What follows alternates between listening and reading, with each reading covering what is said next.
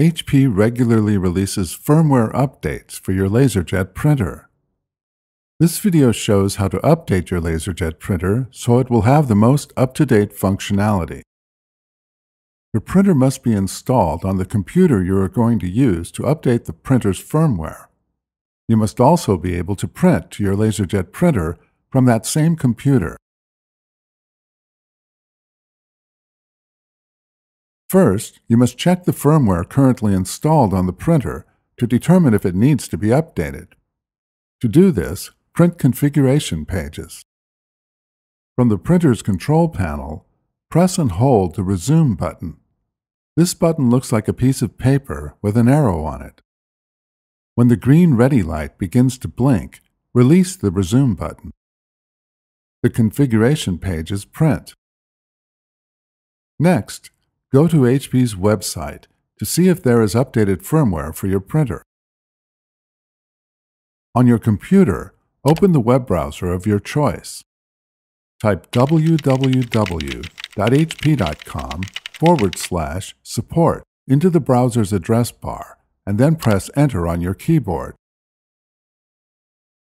From the HP support page, select your country and language from the lists shown. Click Drivers and Downloads.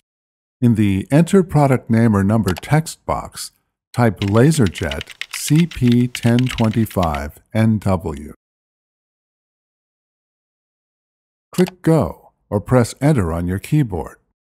If there are multiple models of your HP printer, or you type in only a portion of your model number, like 1025 instead of HP LaserJet CP1025NW, you will have to choose your printer from a list.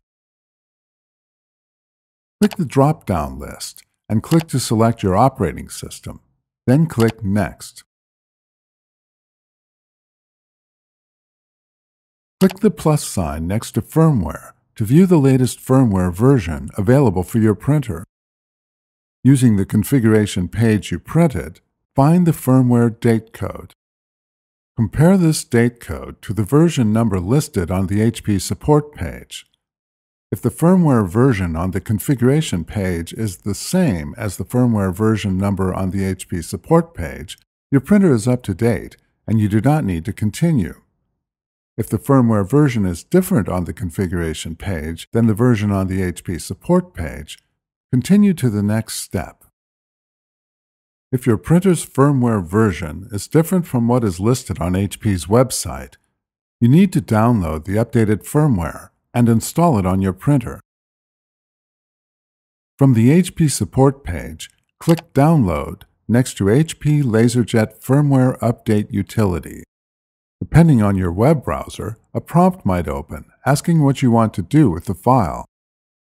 If you click Run, the file will download to a temporary folder and then run once the file is downloaded. If you click Save, the file will be downloaded to a folder you specify on your computer. After it is saved, you can run the program anytime you choose. In this video, we will click Save. Browse to the location where you want to save the file. Make sure you save the file somewhere easy to remember so you can install it later. We saved the file to the desktop. The computer downloads the file to the folder you selected. To find the file you just downloaded, click the Open Folder button if you used Internet Explorer. If you used a different web browser, you will need to browse to the folder or location where you saved the file. Double-click the file to launch the HP Firmware Update utility. After the utility has extracted, Click on the drop-down next to Select Printer to Update. Select the HP LaserJet Professional CP1020 series. Click the Send Firmware button to transfer the updated firmware to the printer. Do not turn off your printer during the update. This can damage the printer. If prompted, click OK. When the update is complete, you will see a smiley face on the page. Click Exit.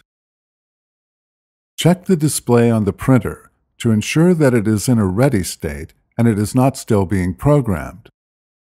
Your firmware is now up to date, and you can resume printing as normal. You can find additional helpful videos at hp.com forward slash support videos and on our YouTube channel, youtube.com forward slash HP printer support.